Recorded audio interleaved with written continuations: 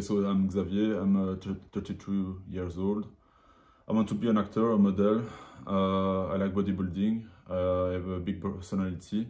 I'm uh, um, a physique not uh, atypical. Uh, je suis Xavier Delépine, j'ai euh, 33 ans. Je suis de Belgique, euh, à moitié italien. Je vais être euh, acteur, modèle. J'aime le bodybuilding et je pense avoir un physique atypique qui sort du lot.